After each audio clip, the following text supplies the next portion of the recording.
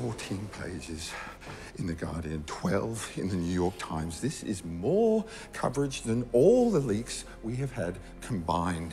We're winning an information war which goes beyond any short-term alliance we have with the mainstream media. You want to throw it all away because you fear that some US government informer might come to harm?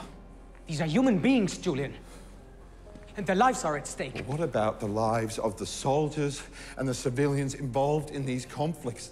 Death squads, unreported civilian casualties, countless incidents of friendly fire. This is information the world needs to know. So the next time you find yourself lecturing me about this organization, please try to remember why I created it and why I hired you to help me.